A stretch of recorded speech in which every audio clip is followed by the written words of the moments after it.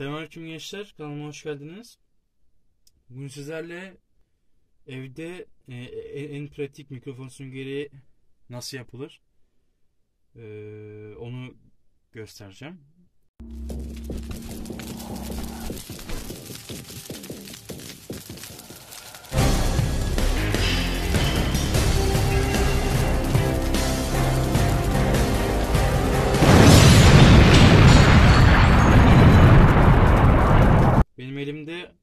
Turist Mantis GX T232 var. E, mikrofonun sıkıntısı çok ses alması. Yani etraftaki sesleri bayağı alıyor. Şöyle filtresi var ama şöyle gördüğünüz gibi filtresi var. Ama ben yeterli bulmadım. Belki sünger yapınca daha çok belki sesi keser diye düşündüm. O yüzden bir sünger yapmayı deneyeceğim mikrofona. E, mikrofonu merak edenler e, şuradaki i butonundan tıklayıp mi- mikrofonu videosunu izleyebilirler. Ses testi falan bayağı orada detaylı bir incelemesi var. E, bize lazım olan ürünler e, makas ya da siz bıçak veya fa- falçatayla yapabilirsiniz. E, küçük kardeşlerimiz hiç den- den- denemesin.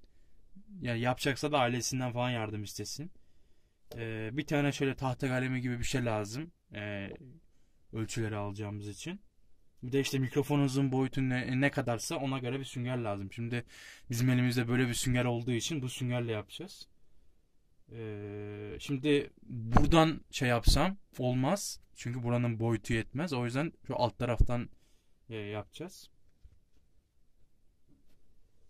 Videomu beğenirseniz like atıp abone olmayı unutmayın.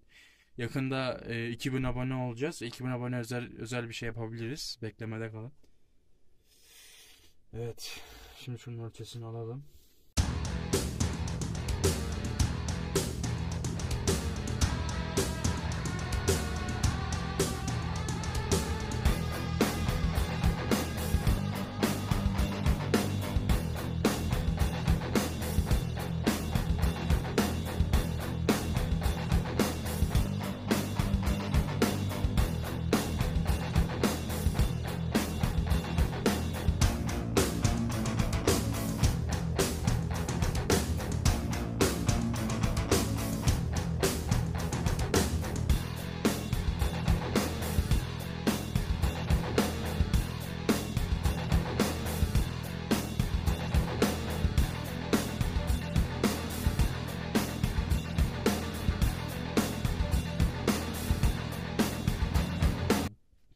Arkadaşlar şöyle kestik.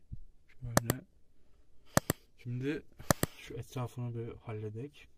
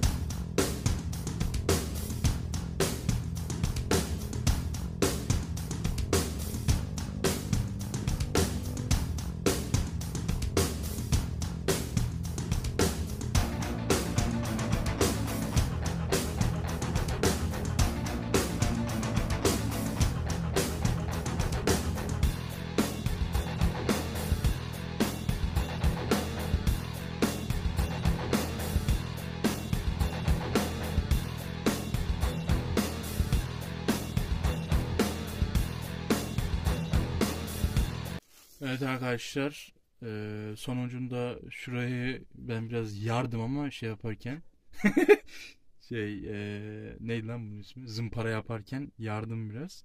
Sonunda anca bu kadar yuvarlak yapabildim. Eee, sizin daha daha değişik taktikleriniz varsa yapabilirsiniz. Mikrofonu da takayım göstereyim. Evet mikrofon şu gördüğünüz gibi. Takıyorum şimdi.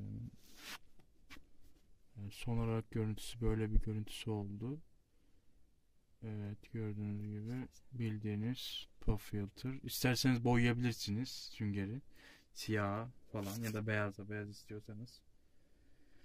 Evet arkadaşlar. Videomu be beğendiyseniz kanalıma abone olup like atmayı unutmayın. Daha fazla böyle pratik bilgiler için e, abone olup like atabilirsiniz. Ya da yo- video fikirleriniz falan varsa yorum yazabilirsiniz. Ya da abi şöyle yapsaydın daha iyi olurdu falan şeklinde yorumlar atabilirsiniz. Neyse kendinize iyi bakın. Allah'a emanet olun. Sağlıcakla.